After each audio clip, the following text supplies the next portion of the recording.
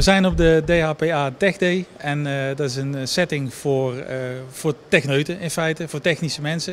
En we hebben hier een, een opstelling klaargezet waar we straks de mensen kunnen laten zien en zelf kunnen laten ervaren hoe simpel het is om dingen aan een netwerk aan te passen, switches toe te voegen, verbindingen, kabels.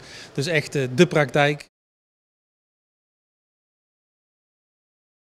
In het uh, verleden is het zo dat je in feite altijd een configuratie moest doen als je ergens een kabel bij, uh, bij ging steken, als er meer verbindingen moesten liggen, bandbreedte uitbreiden, uh, een switch toevoegen.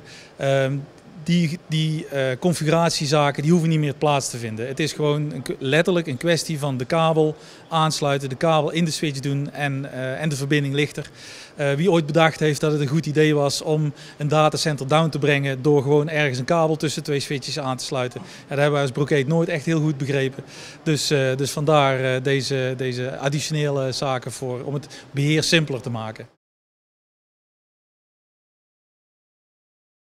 In het verleden was het natuurlijk uh, een, een, een, nauwe samenwerking tussen een, een, netwerkbeheerder en een datacenter operator. Dus de netwerkbeheerder moet de poorten configureren, die moet, alle, die moet de config goed hebben, daar moeten alle juiste parameters op zitten. En dan moet op het, op het juiste moment moet in de juiste poorten de juiste kabel gestoken worden door de datacenter operator.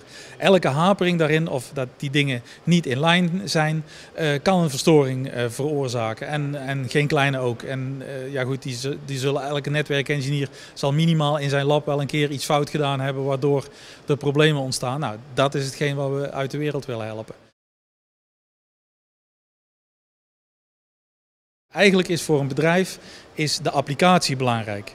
Wij vinden als netwerkengineers vinden wij natuurlijk netwerk heel belangrijk en dat is ook zo, maar de applicatie is het meest belangrijke. Vandaar dat we een trend zullen zien dat de applicatie steeds meer sturend wordt voor de infrastructuur en dat de infrastructuur niet meer uh, maatgevend of sturend moet zijn voor een applicatie, maar dat de applicatie de infrastructuur bedient. Dat is waar we naartoe gaan, dat is waar het hele software-defined uh, plaatje ons naartoe uh, leidt in feite. Ga kijken naar wat je in je datacenter kunt doen om, zeker op het moment als het netwerk geld op moet leveren, zoals in hostingpartijen wel vaak uh, voorkomt, om dan uh, de zaak eens anders te bekijken om in ieder geval geld te verdienen of te besparen door uh, slimmer met je netwerk om te gaan.